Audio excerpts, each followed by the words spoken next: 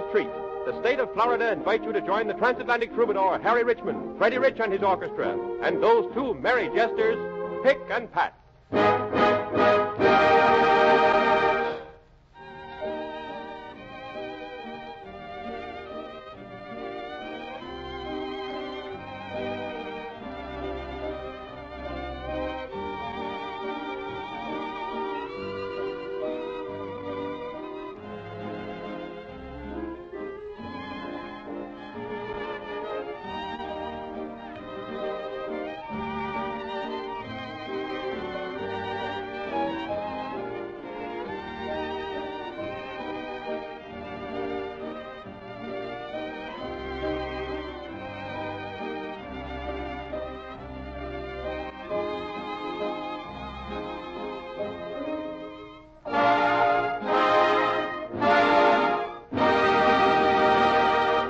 And here's the troubadour himself, the one and only Harry Richman. Greetings, ladies and gentlemen, and gather round because it's going to be Florida's treat.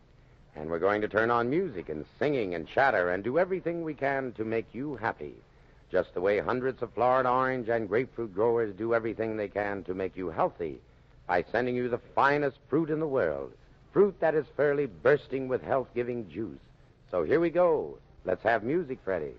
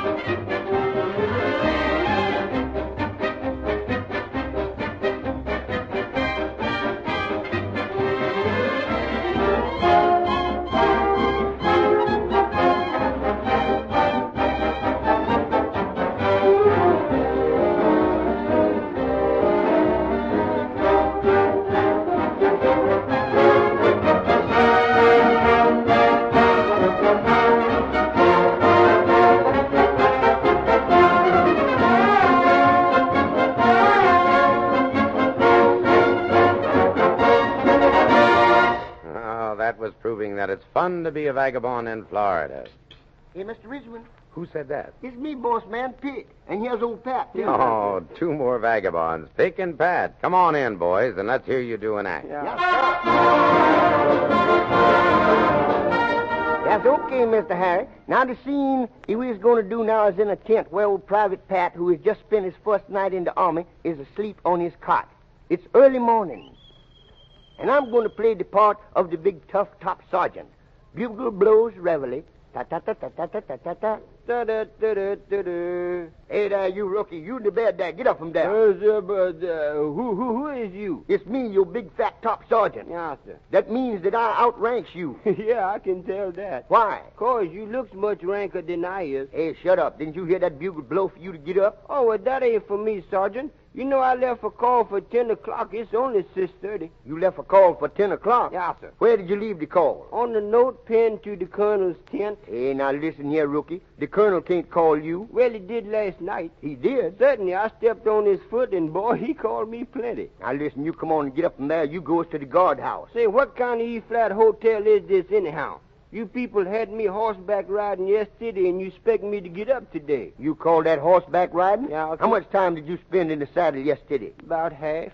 You know that horse Portland they give me you was terrible. We have no horse here but that name. Well, I just called him Portland Well, why do you call him Portland? on account of his mane. A piku, I see. You know, boy, that horse, he done nothing yesterday but throw me up and down, up and down, up and down. He throwed you up and down and up and down. Yeah. Boy, you must have been out of practice. No, the horse was. He missed me six times. Bad. Yeah, you know, that's the first time I ever rid a horse was yesterday. The first time you ever rode a horse? Yeah, sir. Well, I guess at that, rookie, that you felt funny. Boy, I thought I'd split. You know, I never knew that anything full of hay could be so doggone hard. Then they give me another curious looking old E flat horse. He wanted to go one way, and then I wanted to go another way. The horse wanted to go one way and you wanted to go another. Uh-huh. Well, what happened? He tossed me for it.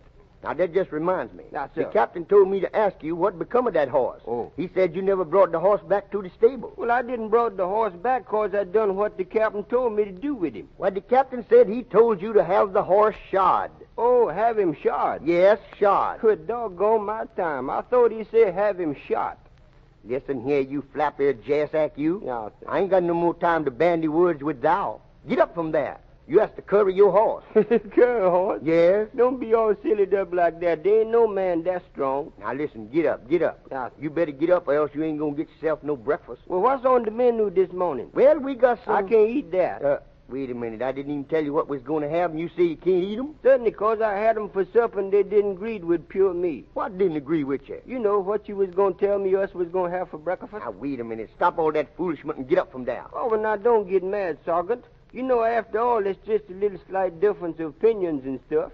You wants me to get up, and I wants to rest my pure body and stay in bed here. Now, it's up to you to convince me to get up. Well, look here. If you don't get up from there, I'm gonna hit you on top of your hard head with this gun. I was convinced. Now, that's fine. That is, uh, I'm half convinced. Look, Captain, I'm over one eye. Yeah, well, my argument must be pretty strong. Yeah, but it ain't strong enough. Look, I'm shutting it up. Now, that settles it right now. I'm gonna dump your bed. Sound of me dumping the bed. Ouch! Sound to me as I land on the floor. Now, I was going down the line here and inspect them other tents. And when I gets back here, I expects to find you all dressed up. Yeah. And no back talk neither. Goodbye. There's a doggone it dump in my bed, putting my pretty pure lambskin body on the floor like that. You know, I got a good mind to tell that rascal what I think of him. He must be pretty far away now, so I is.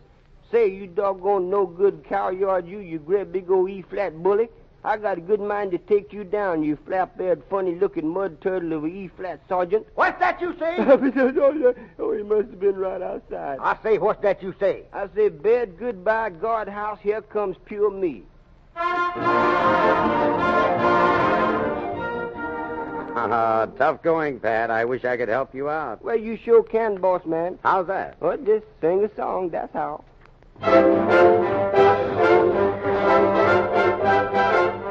High class, yes, sir. My class, yes, sir. But you're not doing me any good. Sweet stuff, I'm sold, but you're so cold. Really, that's not nice. Here's some good advice. You better get off your high horse. Whoa, baby, you're riding kinda high tonight.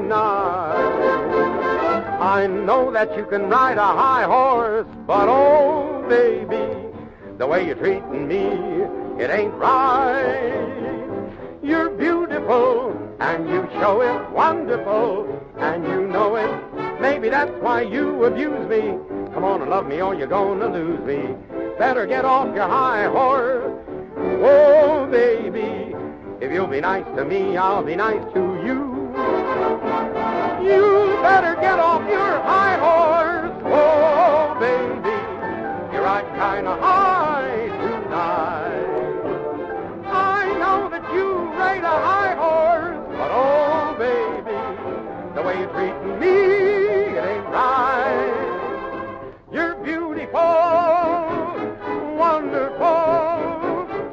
Maybe that's why you abuse me.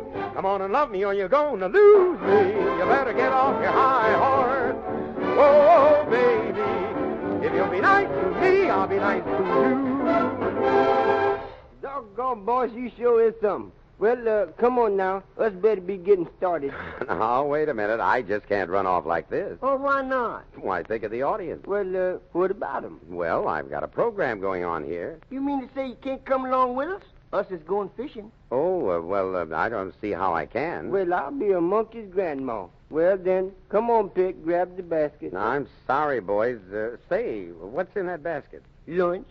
Mm, lunch. Well, what kind? Let's see. Uh, the ham sandwiches. Yeah, sir. It's home baked ham, too. Mm, looks mighty good. Oh, it's better than that, boss. Yes, sir. And look here. Here, here's some beat up biscuits. Mm, hot dog my time. I'm getting hungry already. Mm, and, and what's in there? Uh, the layer cake. Uh, what kind of frosting? Orange cream. Yeah. And Mr. Harry, I'll swear it's two inches thick. Yeah. Come on, Pat. Come Yeah. on. Well, uh, listen, folks, I've got to go fishing. No fooling. But I'll be back again soon with Freddie Rich and his orchestra and new guest stars. Look for our program, will you? It's Florida's Treat. Play Freddie.